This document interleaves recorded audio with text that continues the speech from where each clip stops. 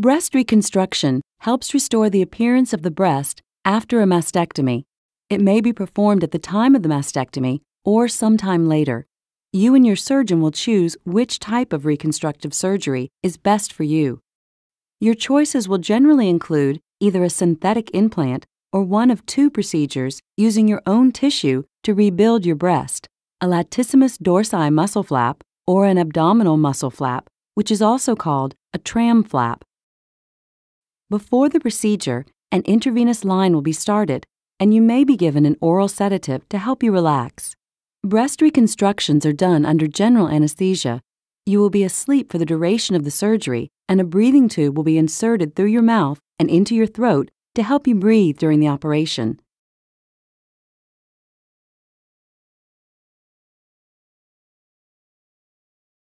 For a latissimus dorsi muscle flap, your surgeon will make an incision in your upper back, separate a section of tissue, and rotate the flap into position at the site of the mastectomy.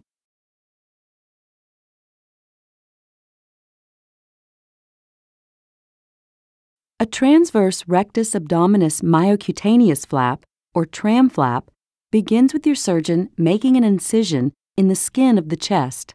Next, he or she will make an elliptical incision in the skin, fat, and muscle of your abdominal wall, or, if there's not enough tissue in the abdomen, in your lower back.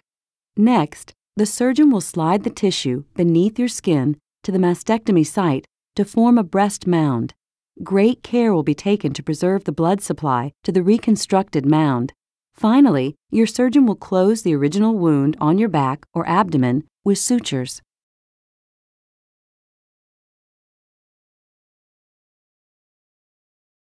The procedure for tissue flaps is similar whether performed immediately or sometime after the mastectomy. The procedure for synthetic implants, however, depends on the timing of the reconstruction. If you choose to have the implant at the time of your mastectomy, your surgeon will insert it immediately after removing your breast tissue and close the wound with sutures. If you choose to have the implant surgery later, your skin may need to be stretched before the reconstruction can occur. In this case, your surgeon will reopen the incision at your mastectomy site and insert a balloon like tissue expander.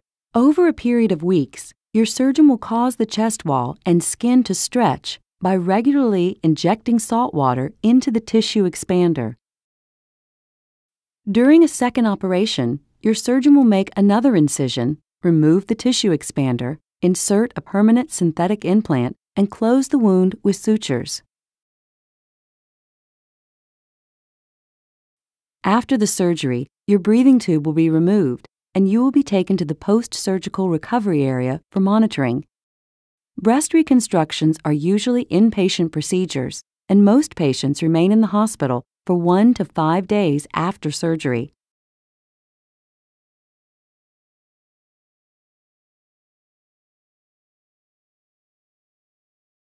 Once your breast mound is complete, you may decide to have your nipple and areola reconstructed. This is a relatively easy procedure and can usually be done in your doctor's office in 30 to 60 minutes. There are different types of nipple reconstructions, but one common type involves removing tissue from your inner thigh or ear to create a small nipple like mound, which may be tattooed to better resemble a natural nipple and areola. This replacement nipple is secured to the central area of the reconstructed breast. Thank you.